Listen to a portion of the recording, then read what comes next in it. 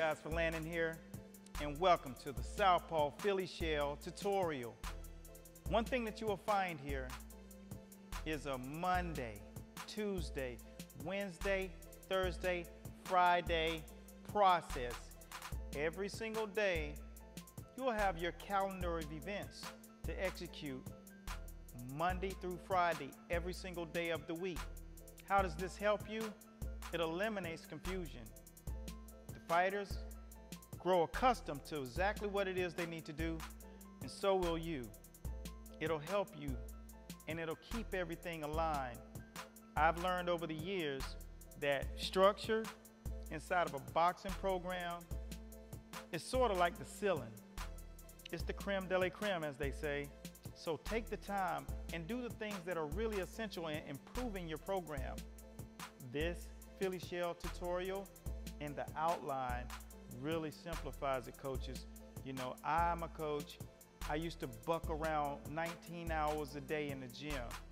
And that's not including the conversation in the parking lot before we left. So I understand how important it was to take the time to really go line by line, teaching a certain footwork, teaching the defense, teaching the different styles that go with inside of the Philly shell, the things that you're able to do. So Monday, you'll go through your footwork and a lot of the drills that go along with it. Some of the defenses, learning the seven points. On Tuesday, you'll go into your punch logistics, how to throw each and every single punch from the Philly shell stance. Then you'll learn how to throw the combinations with the proper punch logistics from the Philly shell style. Wednesday, you go through your spar drills, drills to prepare you to spar inside of the box, inside of the Philly shell. As you progress throughout the week, then you go on the inside fighting.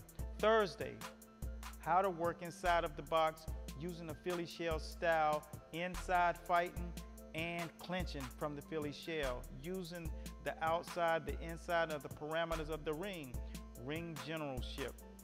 Friday, mitt training, learning how to utilize mitts, each different type of drill, from the Philly shuffle, from four corners, all of these different unique styles, and how to do those special mitts that some of the famous trainers have made really, really popular behind the Philly shell, reaction drills. You've seen it, high volume punches, very sweet combinations and techniques, all of this. And also teaching you how to cut the ring off inside of the Philly shell, inside of that ring, where you truly learn how to use mitts in a variation of ways. So that's some of the insight of the Philly shell Southpaw tutorial book. Get that book if you're looking to really structure your program and you have fighters that just have that similarity to some of the fighters who've made it famous, like Bernard Hopkins, Matthew Saad Muhammad, Floyd Mayweather Jr., James Lights Out Toney, and the list goes on and on. So take the time, learn more, reach out. If you have any questions, this book is an amazing piece and it's great to utilize for your team. My name is Coach Eric A. Bradley, and I thank you guys for watching. This is the Philly Shell tutorial for the Southpaws, created by Master Boxing, where you'll get your master's degree in boxing. So long.